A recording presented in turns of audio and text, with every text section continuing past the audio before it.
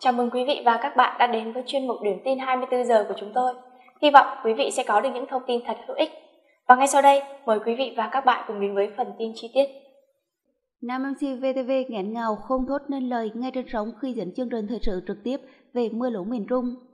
Trong lúc dẫn chương trình thời sự đặc biệt về mưa lũ miền Trung, biên tập viên Tuấn Dương đã không thể kìm được sự cảm xúc trước những mắt mắt đau thương của đồng bào ta.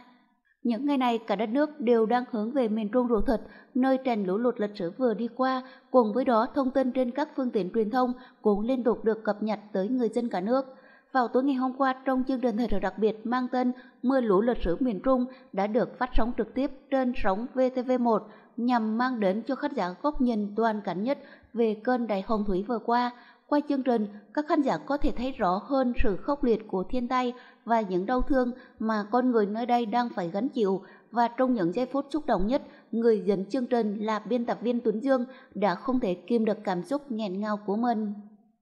Anh Tuấn Dương nói chỉ có những ngày ở vùng lũ trải qua mưa lũ và hậu quả của nó thì mới thực sự rồi nghẹn ngào một hồi lâu anh thậm chí cúi đầu không thể thốt nên lời nào anh xin lỗi khán giả và tiếp tục lặng người đi khi nói đến câu chuyện, người đàn ông mất cả vợ, cả con ngay trước mắt, trong dòng nước lũ. Phải nói rằng, những giây phút mà một biên tập viên truyền hình nín lời ngay trên màn ảnh như anh Tuấn Dương là rất hiếm hoi, bởi họ luôn phải giữ cho mình một tinh thần làm việc rất nghiêm túc. Thế nhưng, vì những hình ảnh quá đau thương từ miền Trung rồi về, nên anh đã không thể làm chủ được cảm xúc của mình.